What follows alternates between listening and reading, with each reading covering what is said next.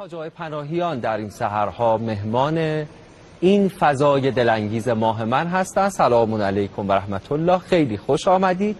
سال نو و ماه نو مبارکتون باشه انشاءالله.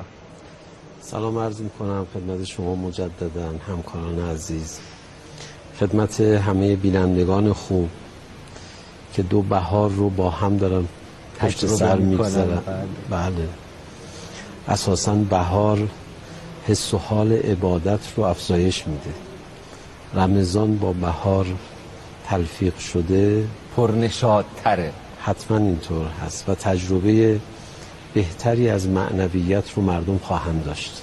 انشاءالله که ماه رمضان متفاوت و پرباری رو تجربه بکنیم و مهمتر از همه شبهای قدر رو درک بکنیم. به حرمت نام امیرالمؤمنین علیه السلام این سحرها قرار چی بشنویم؟ حاج آقای پناهیان بله بسم الله الرحمن الرحیم. درباره امیرالمؤمنین علی علیه السلام از ابعاد مختلف میشه صحبت کرد. درباره فضایل ایشون شخصیت ایشون اخلاق و سلوکشون. کلمات بلندی که دارن در زمینه های مختلف توصیفی که برای اهل تقوا در نهج البلاغه دارن خیلی مشهور این کلمات. توصیه هایی که به مالک اشتر در امور اجتماعی و سیاسی دارن. ولی در مورد هیچ کدوم از اینها نمی‌خوایم صحبت کنیم. بلکه می‌خوایم به این نگاه بکنیم که امیرالمؤمنین علی علیه السلام رسالت و معمولی مأموریت کلیدیشون بعد از رسول خدا در چی بود؟ چیزی فراتر از سیاست که سیاست هم جزء اون بود. حتی مأموریت حضرت امری فراتر از عقیده به امامت ایشون بود. ببخشید بعد از رحلت رسول خدا یعنی حتی در زمان خلفا. بله. چی به عهدهشون بود؟ و اون 25 سال چه مأموریتی رو انجام دادن؟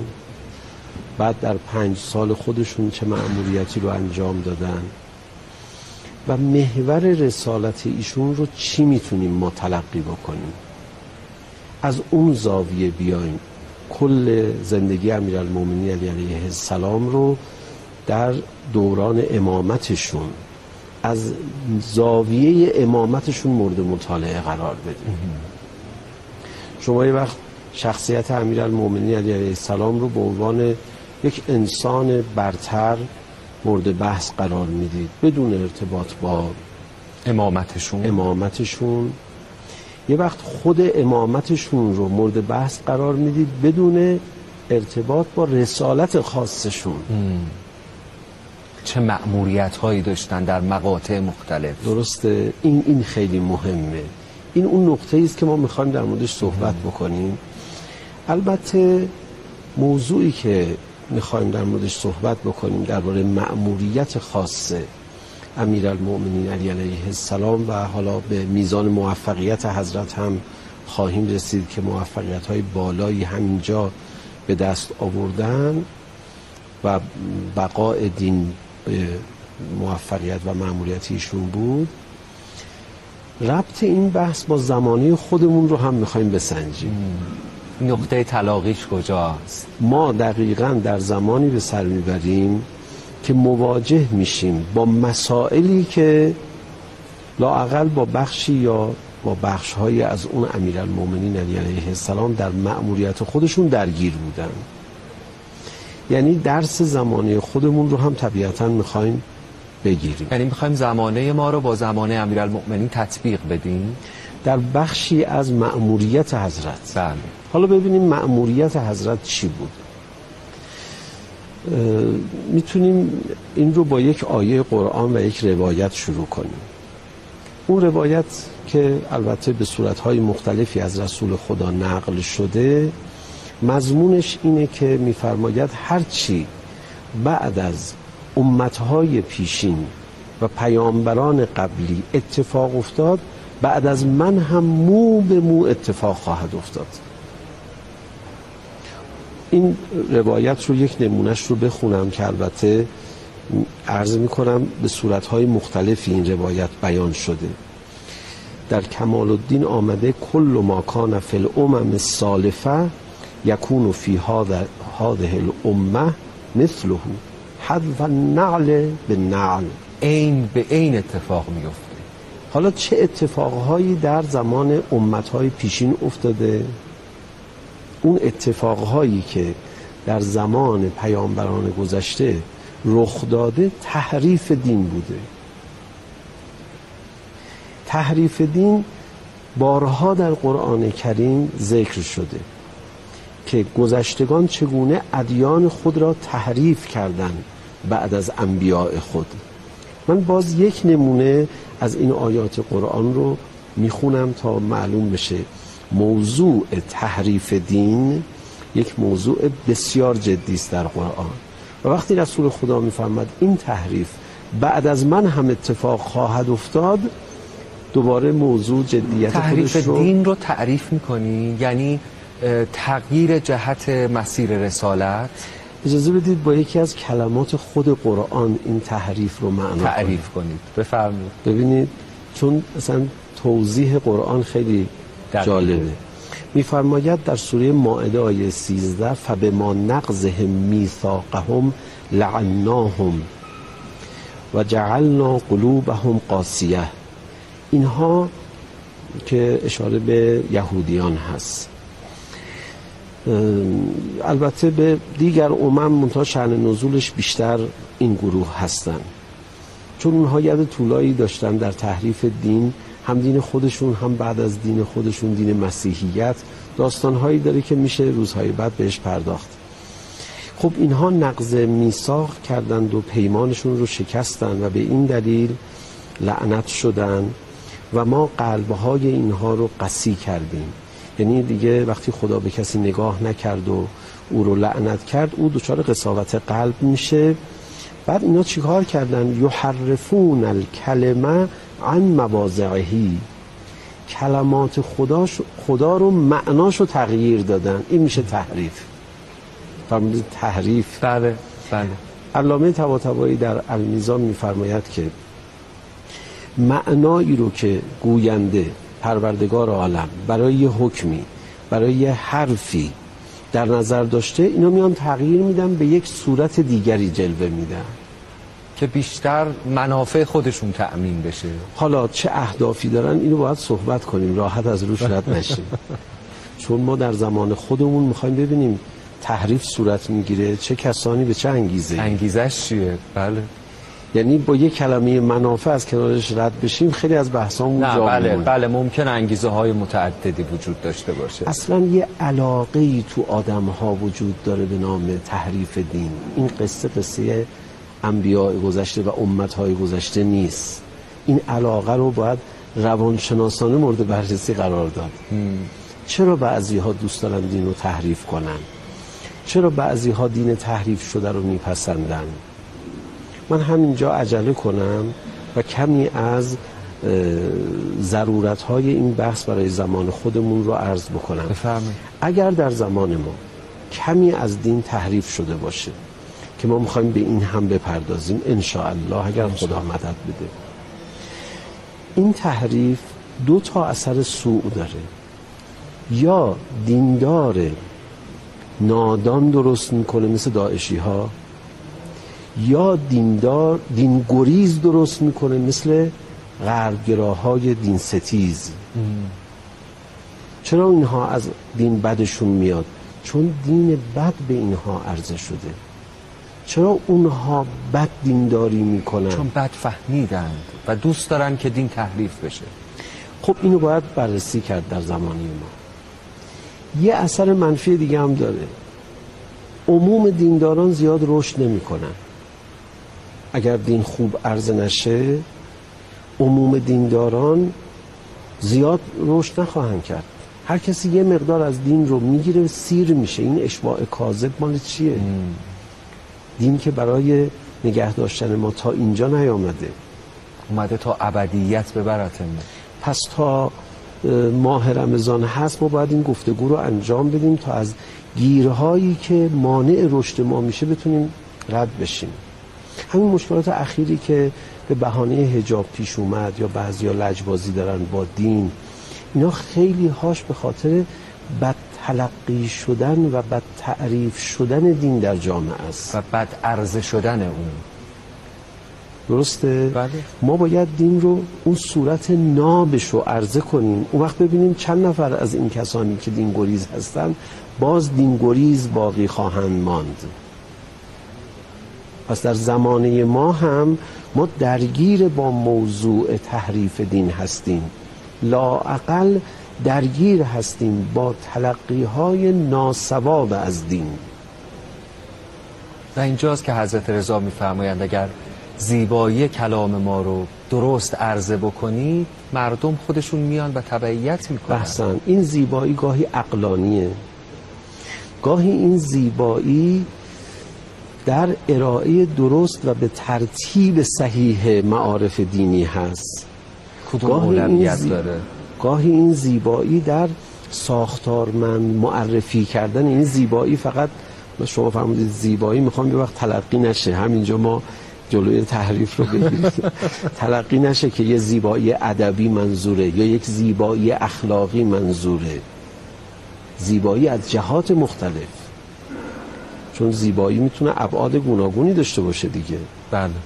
خب پس ما کلمه تحریف دین رو در قرآن کریم بارها داریم که یک نمونه آیش رو برای شما قرائت کردم و پیامبر اکرم هم فرمودن که بعد از من هر چه اتفاق افتاد بعد از انبیاء گذشته اتفاق خواهد افتاد.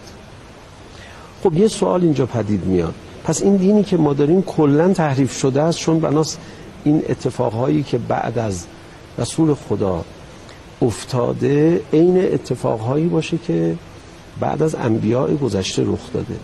بعد از نبی مکرم اسلام یک تفاوت وجود داره. عملیات تحریف دین انجام شد اما ائمه هدا علیهم السلام به واسطه نقشی که ایفا کردن تونستن جلوی تحریف کامل دین رو بگیرن. اینجا یه نکته ای رو توضیح بدم. اگر ما تو اینجا داریم در مورد تحریف دین صحبت می‌کنیم کلان موضوع رو می‌خوایم بحث کنیم. بحث اختلاف مذاهب نیست. یعنی ممکنه من شیعه اصناعشری هم باشم ولی دچار آسیبهای تحریف دین شده باشم. غیر از موضوع اعتقاد.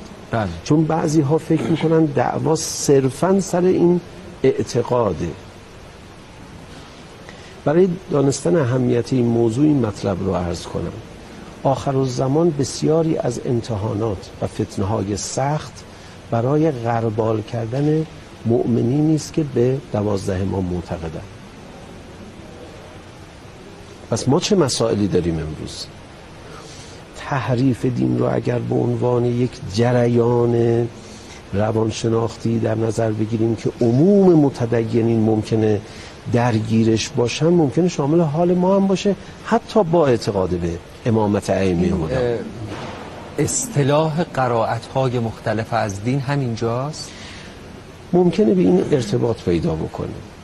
ولی اون اصطلاح چون یه معنای خاصی ازش ارا- اراده کردن ما اگر اون اصطلاح رو به کار ببریم اینجا چند تا بحث با هم دیگه قاطی میشه. تحریف فراتر از اون قرائت. تحریف فراتر از اون. ما در زمان امیر المؤمنین علی علیه السلام می‌بینیم حضرت مقابل تحریف وایساد و دیگر امامان معصوم علیهم السلام نیز. و بعد الان ما در میان خودمون تحریف رو با چی می‌بینیم؟ من از این کلمه نمی‌خوام در مورد زمان خودمون استفاده کنم. از تلقی های ناروا از دین باید صحبت بکنیم در زمان خودمون. تلقی های ناروایی که میفرماید در آخر الزمان بین مؤمنین و اهل بیت اینقدر اختلاف میفته که همدیگر رو لعن می‌کنه مقام معظم رهبری یک اشاره مختصری فرمودن که بعضی ها تو اختلافاتشون خیلی بد برخورد می‌کنن همین چند روز قبل بله. سخنرانی بله. مشهد مقدس اینها خاصیت های آخر الزمانه. بعد جالبه وقتی که همدیگر رو لعن می‌کنن یا با همدیگه شدیدن مخالفت می‌کنن در روایات آمده هر کدومشون هم به روایات اهل بیت استناد می‌کنن. هر کدوم به آیات قرآن استناد می‌کنن. پس ما در زمان خودمون مواجه با برداشت های غلط از دین هستیم. خیلی همه چی به هم میریزه که خب اینا رو باید ما در موردش حرف بزنیم تا از این به هم ریختگی جلوگیری کنیم. تا می‌تونیم ذهنها رو به هم نزدیک کنیم ادبیات رو به هم نزدیک و کنیم. مهمتر از همه دلها رو به هم نزدیک کنیم. طبیعتا دلها پس از نزدیک شدن اندیشه و گفتار نزدیک میشه. ما که صرفا نمی‌خوایم با یک رفتار اخلاقی سر هم دیگر کلا بگذاریم بگیم حالا من چون مهربونم تو کوتاه بیا از مواضع شما مثلا تندخویی نکن شما هم حالا یک کمی کوتاه بیا همدیگر رو تحمل کنیم. نه به یک فکر مشترک برسیم. به یک ادبیات مشترک برسیم. مواردی رو انشاءالله در زمان خودمون اشاره خواهیم کرد تو بحث. انشاءالله اگر خدا به همون توفیق بده. انشاءالله. حالا ببینیم امیرالمؤمنین علی علیه السلام درباره مأموریتشون نسبت به این موضوع چه روایاتی داریم؟ حالا یک سلسله روایات هست من باز یه نمونهش رو می‌خونم. یه نمونهش رو از حفظ بگم یه نمونهش رو از رو بخونم. بفرم چون این مکرر اون زمان بحث شده بوده. می‌خوام ببینم می‌خوام بینندگان عزیز بدونن که این موضوع موضوع فرعی نیست. ما الان کشیدیم وسط. یک موضوع اصلیه. یه بار رسول خدا صلی الله علیه و آله و سلم یکی از کفش های مبارکشون خب اشکالی درش ایجاد شده بود و پارگی پیدا کرده بود. صدا زدن علی جانم این کفش رو برای من شما وصل پینه کن و حضرت نشستن. بعد نوشته که چند قدم حضرت کنار رفتن و وقتی که جلوتر رفتن تو اصحاب شروع کردن سخنرانی کردن فرمودن که شما با من دارید جنگ می‌کنید سر نزول قرآن سر تنزیل. بعد از من کسانی از یاران من هستند سر تعویل قرآن سر تفسیر قرآن جنگ می‌کنن یه کسی گفت آقا منم هستم جزو اون کسانی که سر تعویل با دشمنان دین از این جهت که قرآن رو بد تفسیر می‌کنن. می جنگم. گفت فرمودن نه تو نیستی. یه کسی دیگری گفت من هستم فرمود نه تو نیستی. بعد فرمودن که اون کسی که داره کفش من رو درست می‌کنه او کسی است که سر تعویل قرآن خواهد جنگید. ببین قصه درست کرد. پیغمبر یاد همه بمونه. با یه کفشش شروع کرد راه رفتن رفت تو اون موقعیت. امیرالمومنین اون گوشه نشون داد. و در تاریخ هم همین کار رسول خدا گرفت و موجب شد این داستان باقی بمونه. یک روایت دیگه. پس ببینید امیرالمومنین علی علیه السلام یقاتل علی تعویل مقاتله سر تعویل و این یک مأموریت خاص حضرت بعد از پیغمبر. درسته؟ این حاکم بر کل مأموریت حضرته. بله. درسته؟ یقاتل علی تعویل رو نمیشه قسم قسیم دیگر مأموریت ها قرار داد. یک سری از مسئولیت ها که به طور عادی به عهده یک امام هست. بقیه در زیل این تعریف دقیقا.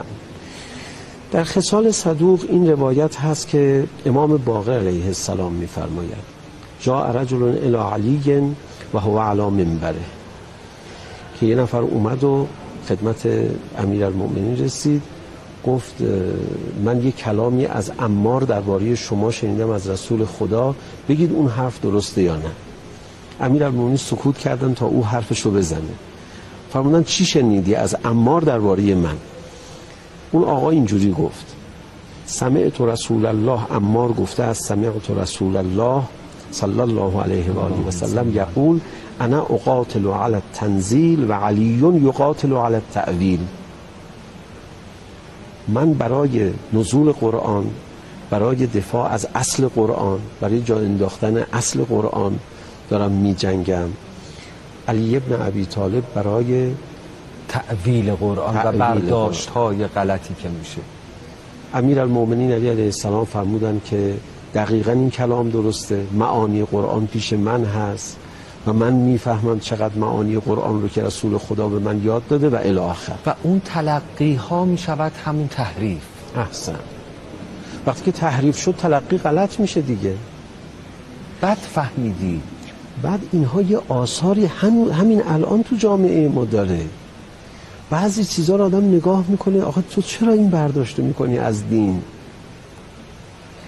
این یک سلسله مسائل تاریخی پشت سر داره. من الان جرأت نمی کنم که بی مقدمه وارد بحث های آینده بشم. برخی از مشهورترین روایت ها رو بگم که اینها خب ما الان داریم یه چشماندازی رو از بحثمون در واقع ترسیم می‌کنیم.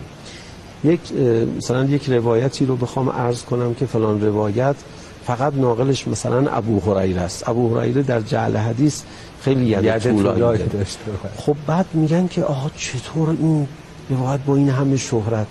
میگم آقا دوران بن العباس 500 سال طول کشیده.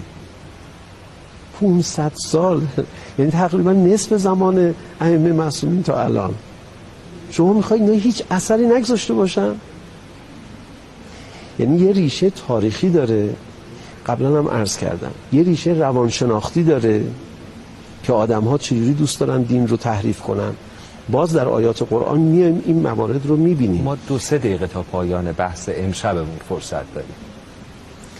من آخرین نکته ای که می‌خوام عرض کنم یکی از گریه های امیر المومنین رو می‌خوام بگم. امیر المومنین علی علیه السلام اومدن صدا زدن که یا رسول الله دعا کن برای شهید شدن من. و گریه می‌کردن رسول خدا فرمود من چطور دعا کنم با توجه به اون مسئولیتی که تو بعد از من داری؟ صدا زد من چه مسئولیتی دارم؟ اما تو باید مقاتله کنی بعد از من سر تعویل قرآن. گفت من به چه دلیل باید مقاتله کنم؟ فرمود به دلیل تحریف هایی که در دین بدعت هایی که در دین میارن. ببینید این داستان چه داستانی میشه که ما نگاه بکنیم به 25 سال و 5 سال خون جگر خوردن امیر المؤمنین برای حفظ اصل دین. و زندگی امیر المؤمنین و هر کسی از این زاویه همین از امشب شروع کنه به مطالعه کردن صحنه های دیگری رو مواجه باهاش خواهد شد. السلام علیک حین تقرأ و تبین. و تبین.